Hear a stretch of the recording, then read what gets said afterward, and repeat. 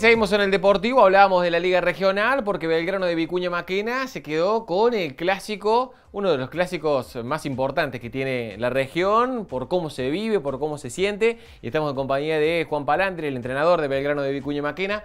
Juan, ¿cómo te va? Buenas tardes. Buenas tardes, Paco. Bueno, me imagino que ahora ya con un poco más calmo en pulsaciones por, por cómo se vive el partido, por cómo se, es la intensidad de, un duelo ante San Martín y además ganar en la forma en que se dio, un partido muy comprimido y además que tuvieron que sufrir mucho por el, tiempo en el cual se hizo el gol y después esperar. Sí, tal cual. Bueno, por ahí hoy un poco más relajados, disfrutando de, la alegría del pueblo, de la alegría de los jugadores nuestros. Eh, como decís vos, un partido típico, clásico. Me parece que el primer tiempo hubo posibilidades para ambos de juego. Eh, en cuanto a posibilidades cercanas al arco, creo que Belgrano en el primer tiempo tuvo más chances y en el arranque del segundo también, hasta que llegue el gol, pero el segundo tiempo fue mucho más un clásico típico de, de pueblo, de, de meter, de ser friccionado, a más vistoso. Pero bueno, eh, es muy, muy raro que se analice en cuanto a la gente un clásico. Eh, nosotros sí internamente lo Sí. hacemos, pero bueno, en el agrado de la gente es ganar y nada más. Eh, llegó el gol a los 25 aproximadamente de Sí. Cristian Oliveira, eh, que les daba la ventaja. ¿Fue tranquilizante marcar el gol o, o fue decir, bueno, estamos todavía 0-0, hay que seguir jugando este partido por cómo se daba? Eh, nosotros veíamos que hemos logrado consolidarnos en la parte defensiva, hemos logrado ser un equipo muy combativo, entonces eso nos da una tranquilidad, sobre todo de los medios hacia adelante, que en algún momento la jerarquía eh, Sí. sobresale. Bueno, De siempre hecho- se dice que los equipos se arman de atrás para adelante. Exacto, pero bueno, a veces hay que trabajarlo. Cristian, el chino, hizo el gol y nosotros internamente sabíamos que el rival se iba a venir. Eh, decidimos plantarnos y dar batalla, sobre todo en la línea media y de fondo, y esperar alguna posibilidad porque faltaban 15 minutos. Y bueno, el equipo mostró esa personalidad que tiene que tener en un partido de esta envergadura y, y salió adelante. Eh, ¿Qué se charló en el, en el entretiempo? Digo, para, para tratar de mantener esa ventaja y, eh, no sé, si jugarlo de contra, esperar a ver qué hacía San Martín. Hicimos mucho hincapié en lo emocional. Eh, nosotros eh, tenemos análisis de video y que sabemos los patrones de cada rival que vamos a enfrentar, los negativos y los positivos, los que nos pueden dañar. En el primer tiempo se habían puesto de manifiesto, lo estábamos tratando de, de sacar provecho nosotros y controlarlos de ellos y seguir con esa tendencia.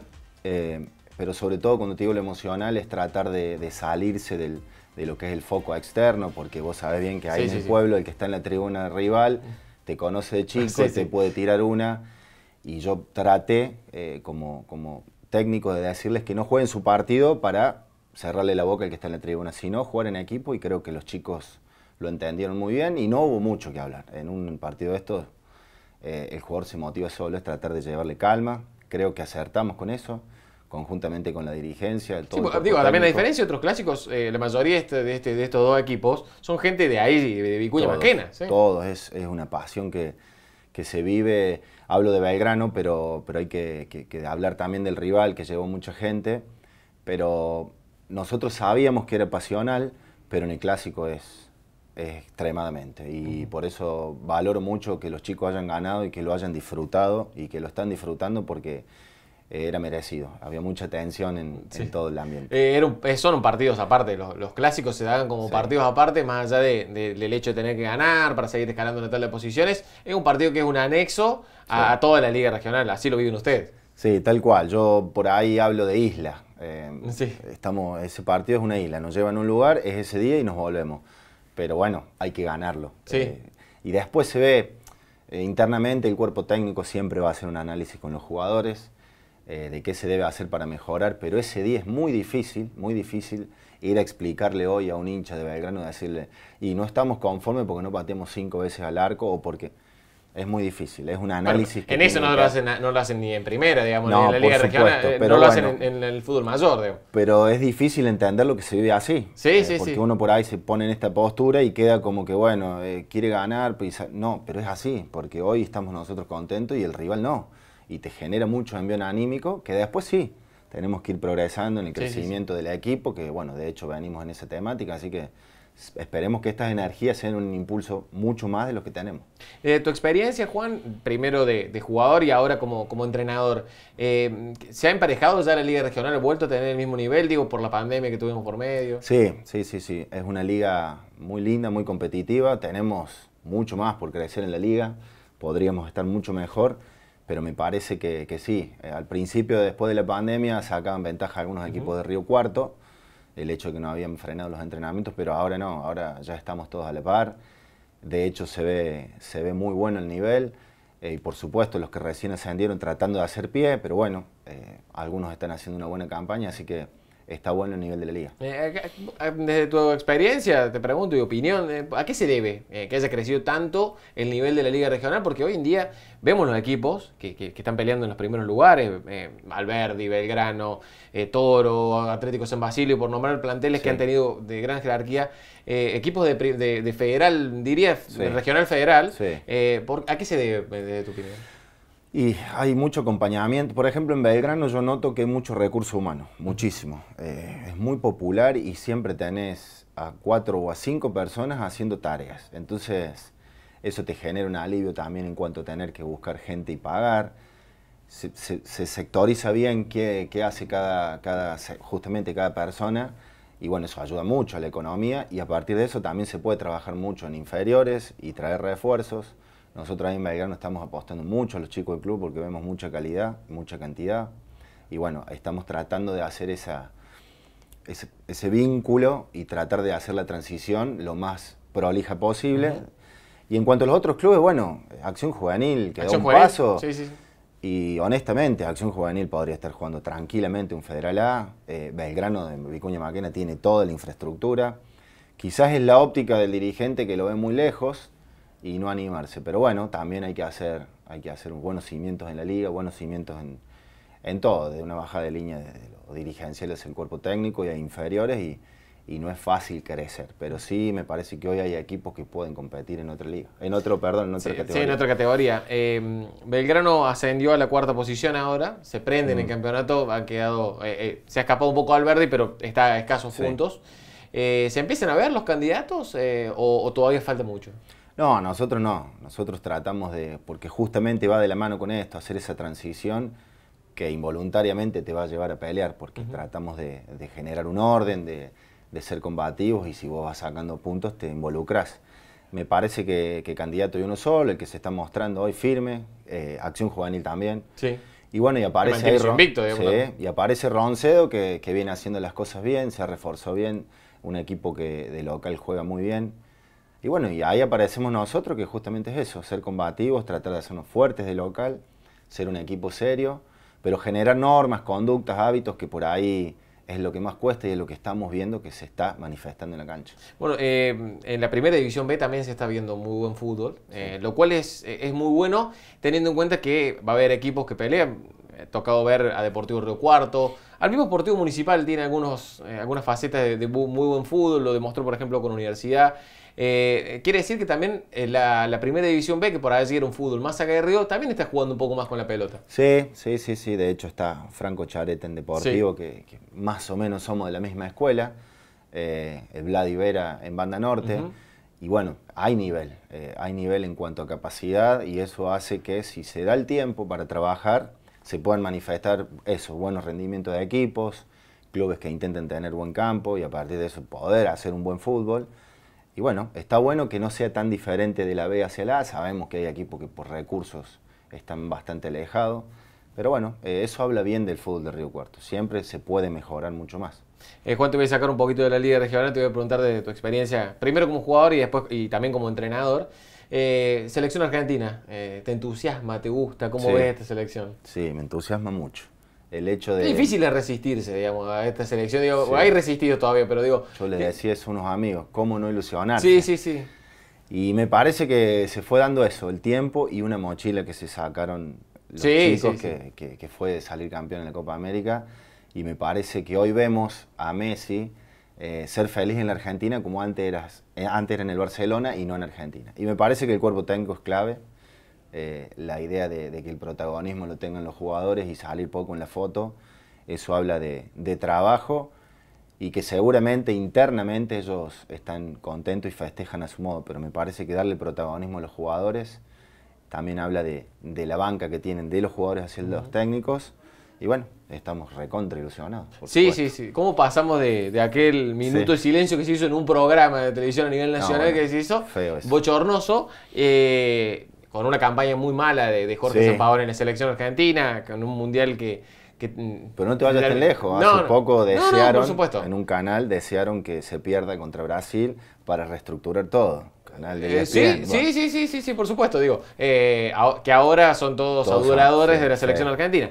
Pero digo, eh, ¿cómo se pasó de eso en un abrir y cerrar de ojos? Y, hoy en día estamos pensando, incluso la otra selección, otros jugadores a nivel internacional dicen, la selección argentina es candidata en el Mundial. A ver, siempre va a ser candidato, eh, somos futboleros y siempre nos vamos a posicionar, porque eventualmente tiene que ser una catástrofe como fue Rusia, que era todo emparchado, pero siempre hay buen, buen nivel. Pero lo que se ve ahora es todo mucho más terrenal, eh, mucho más, eso, eh, simpleza, no, no, no diálogos ni palabras difíciles, me parece que los jugadores están totalmente abiertos, sueltos, y bueno, Está bueno que se evolucionen los pensamientos, lo que uno pensaba que era malo antes y ahora piensa que está bien, está bien. Pero bueno, también hacerse cargo de que cuando uno habla y desea el mal, no está bueno. No está bueno. Eh, yo la última vez que había visto un grupo tan unido, así como lo tiene hoy la selección, pues yo siempre digo, y siempre se los comento a, cuando charlo, en alguna conversación, digo, que son un grupo de egresados que se juntaron a jugar al fútbol y que se visten con celeste y blanco, digamos. Disfrutan eh, todo. Sí, yo creo que la última vez que vi un grupo así, como lo veo hoy, fue cuando Diego Armando Maradona era el técnico eh, para el Mundial de Sudáfrica. Eh, fue la última vez que lo veo y hoy veo un compromiso muy real de esto, que, creo que es la base para pelear por cosas importantes. 32 partidos no es poca cosa, con un Leonel Messi que está en su cúspide y está en un máximo nivel. No, y aparte de ir a, a, Europa y jugar contra el campeón, más allá de que está en un proceso de transformación también, y ganarle con la autoridad que se ganó, me parece que no, no puede no estar eh, candidato argentino, por lo menos entre los cuatro o cinco. Y en nosotros, obviamente, somos futboleros y estamos muy ilusionados y sabemos que, se puede dar. No hay que tenerle miedo tampoco. No, hay que postularse, pero bueno, no hay que tener miedo a, que se puede dar. No, pero me, recuerdo cuando se hizo el sorteo del Mundial y empezaron a salir Polonia, México. Bueno, México, un, viejo conocido, pero digo, eh, parece una zona difícil en nombres por, la cantidad, pero una vez, cada vez que la selección sale a, la cancha, decir te da seguridad. Te da, seguridad. Claro, te da seguridad y, no te genera eso que por ahí antes era, bueno, a ver si nos llega. No, ahora vos sabes que pone primera, segunda y va. Y bueno, eso te lo, te lo generan. La mochila que se sacaron, el buen fútbol que se ve y el trabajo. El trabajo que se ve de este cuerpo técnico me parece de lo más acertado que se ha hecho en la AFA. Eh, y tiene un gran recambio generacional teniendo en cuenta la, juventud que tienen muchos jugadores. ¿Cómo ves la, saga central? Digo, que vos fuiste central eh, con, con, Cuti y con Otamendi. Me gusta mucho. Otamendi ha, vuelto, me parece que está en, su mejor nivel en cuanto a edad y todo. Y el Cuti una fiera. una fiera porque es un tipo que, que, va, mete, es malo, es una posición en que a veces vos no tenés que ser tan bueno ni tan bonito y tenés que ser agresivo, es agresivo, tiene buen pase.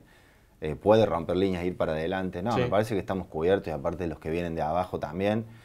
Y bueno, esperanzados como, como cualquier hincha de la selección. Eh, ya para cerrar, te, llevo al plano futbolístico. Eh, quiero, para, te voy a meter dos, en un aprieto con dos preguntas. Una, la cancha que recordás más difícil de jugar, en donde decís, se me está viniendo todo abajo, está complicado el panorama, ¿dónde sentís que te, te fue complicado, como cuando fuiste futbolista? Bueno, en la boutique era bastante pesado. Pero como la presión era de ellos, no nos fue mal ahí.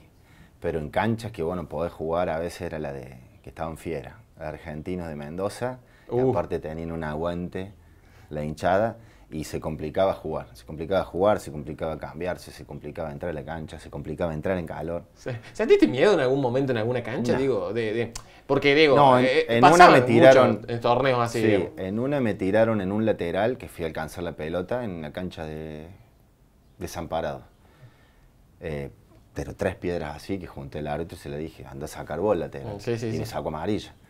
No sentí miedo, eso pero pasaba, sentí, sentí que tenía que sacar rápido y eso te lleva por ahí a equivocarte. Sí. Pero miedo no, no, no, miedo no. Me, me refiero, digo, por ahí. eh, Sí, que puede eh, pasar por- algo puede pasar después, porque ha pasado en estos el torneos cancha de tierra adentro. de, de ahí de, de Mendoza, le- en la entrada en calor, el chupa la hacía adentro, chupa Peralta, y se descolgó un hincha y le sacó un cuchillo. Pero bueno, Sí, sí, sí. eh, sí te puede dar un poco de miedo. No, nunca nadie acuchilló a uno dentro de la cancha, pero uno nunca sabe. Pero nunca podés saber si podés ser el Y primero, bueno, digamos. Claro, y jugás con esas cosas que, que honestamente ya no van más, no, no, No, no, por con supuesto. eso. Pero bueno, sigue pasando y hay que, hay que saber que en alguna cancha vas y te puede pasar eso. Y por último, el, el delantero que más te costó marcar. Y O Toro- es- eh, no, el, el Toro París sí era picante y Nico, Nico Gato. Nico era. Nicolás, Uf, porque no transpiraba, pero en el minuto 92 si quedaba una picando y, Sí, sí. y vos estabas mirando la tribuna, te la metía y, y eso para mí era un mérito enorme. Pero en cuanto a lo físico nunca, sino más bien en, en- en tratar de controlarlo hasta el último, era tener que estar muy mentalizado de saber que un tipo quizás no la iba a tocar, pero en la última iba a tener su, su jugada y vos tenías que estar cerca. ¿Era- ¿Eres de hablarle mucho a los delanteros? no, nunca. No, no, no, porque una vez lo quise hacer y me salió mal y sentí como que quedé como un gil Eh, sí. por hablarle. No, no, yo siempre leal a muerte, al hueso, y, pero con la lealtad de siempre. Pero si un delantero te, te- te empezaba a hablar, Y se sí, responde. obvio, obvio. Digo, porque se da mucho esto, y Y lo veo cada vez más en la Liga Regional. No, me parece, eh, a ver, si, si algo dentro de la cancha que después te termina abrazando, es parte del partido de folclore. Sí, sí, sí, sucede eso. Eh, Así, eh, es, es parte del fútbol eso. digo. Sí, me ha tocado alguno que me ha dicho alguna que otra cosa que no me ha gustado y bueno, eh, se comió el rigor después. Eh, voy a cerrar con, con, eh, eh, una pregunta de deporte motor. eh, porque sé que te gusta muchísimo el Mucho. automovilismo. ¿Sos fanático de Chevrolet? Sí. Tenés, teni- no sé si te la seguís teniendo. No, no le tengo mal, la vendimos Tenía- una cambiamos por una, por una combi para viajar con, Ah. con mi familia. Pero sí, sí soy fan. Eh, ¿Se sigue entusiasmando? ¿Te gusta? ¿Lo seguís viendo? sí, sí, sí. Se me, se me generó un poquito de, de algo raro cuando involucraron a Toyota. Te iba a preguntar por eso, Debo. el Camry, pero bueno, también es parte de la evolución.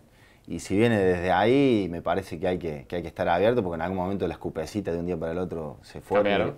Y, vinieron los autos nuevos, así que Ahora sí te dolería, sí, porque dice que si viene la evolución va a venir el Chevrolet Camaro. sí. Bueno, está bueno el Chevy Camaro, pero, Pero- que lo vendan y sea accesible. No, pero está bien, pero digo, te dolería que te saquen el Chevy, Debo. Y sí, Eh, y sí, la Chevy va a estar siempre. Pero bueno, hay que estar, hay que estar predispuesto al cambio. Me parece que si viene un Camaro que se ve en la calle, va a estar bueno. Ahora, si viene un, un Camaro Yankee que no lo, no lo compra nadie, y es todo negocio. Y sí, por supuesto. Juan, te agradezco mucho Paquito, estos minutos con, con nosotros. Felicitaciones por la gran victoria. Me imagino que, todavía en Maquena lo están festejando. Sí, sí, sí. Gracias. Cerramos de esta forma este bloque del Deportivo. Vamos a la pausa, ya volvemos con más.